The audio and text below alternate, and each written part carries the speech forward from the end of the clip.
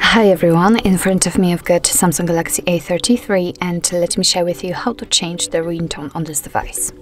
So first of all, let's enter the settings and here we have to find sounds and vibration. And as you can see, the second section is connected with the ringtone and the sound actually. So we can change the ringtone for calls and this is the very first option, but also for the notifications and the system sound. So let me show you how to do it using the phone ringtone. Let's tap on it.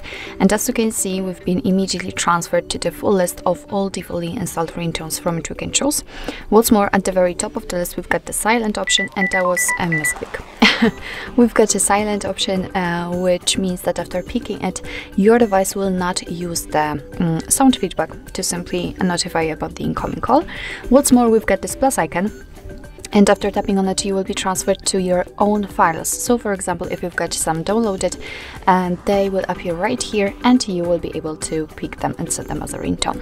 But let me get back to the defaultly installed ones and um, as you uh, as you could hear all you have to do in order to listen how the particular ringtone sound is to simply tap on it.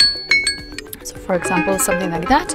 Let me volume it down a little bit and uh, all you have to do in order to set the, the um, ringtone is to simply make sure that the option you'd like to use is marked, like here in my case Comet, and get back.